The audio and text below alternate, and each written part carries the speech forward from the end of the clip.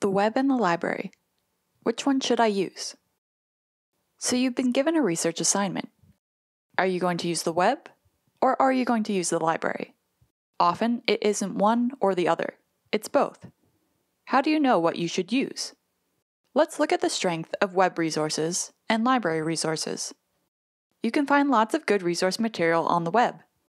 There are news and journal articles, videos, images, company reports, data, and government information. Many organizations and companies have their own websites that provide useful information.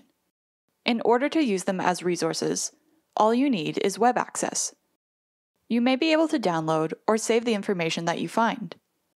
Be aware, however, that some material on the web may require payment. Check with your library because they may already have access to paid content. Information gets added to and subtracted from the web every day. Remember, the web is enormous, and it's easy to get lost researching unless you have a specific search goal. Unlike the web, the library gathers materials specifically to support your academic program. Just like on the web, you can find news and journal articles, videos, images, company reports, data, and government information, all in one convenient online format. The library also maintains a physical collection of books, DVDs, magazines, journals, and other materials.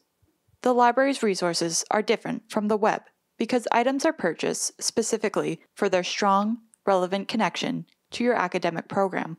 The material is selected using an evaluation process that includes your professors, subject experts, and library professionals. There's no charge for you to access library resources.